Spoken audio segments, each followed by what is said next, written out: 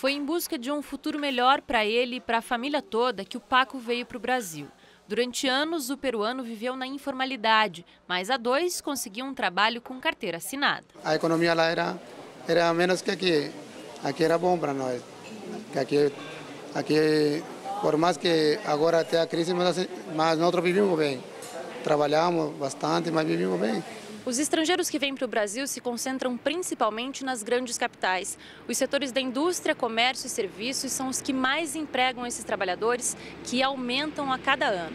Em 2016, foram concedidas 28 mil autorizações de trabalho para quem vem de outros países. Nós podemos é, observar um contingente que é bastante qualificado, é, proveniente dos países desenvolvidos e que já vem ao Brasil com um ofício definido, principalmente para trabalhar nas multinacionais. Nós temos também um outro grupo que busca melhores condições de vida, provenientes principalmente dos países em desenvolvimento, que buscam uma oportunidade no mercado de trabalho é, para uma condição melhor de vida na comparação com seu país de origem. O Andy é mais um nessa situação.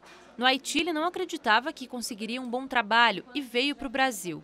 Aqui já fez um curso técnico, trabalha em um hospital e já está cursando a faculdade de fisioterapia oportunidades que ele não teria lá. Tinha muito, muito dificuldade para a gente arrumar um trabalho lá no Haiti, porque Haiti é muito difícil para para nós que somos jovens, que, são, que tem sonho, e depois aconteceu o terremoto, a gente passa para várias dificuldades, porque o país não tinha condição para se manter para o Instituto Paranaense de Desenvolvimento Social, a vinda desses estrangeiros não representa a perda de vagas para o brasileiro, mas sim uma maior variedade cultural no mercado de trabalho. A participação dos estrangeiros no mercado de trabalho brasileiro é muito pequena. Por isso, eles não representam uma ameaça, entre aspas, para os trabalhadores brasileiros. O ideal seria, com crescimento econômico, até mesmo uma elevação do contingente de estrangeiros no Brasil.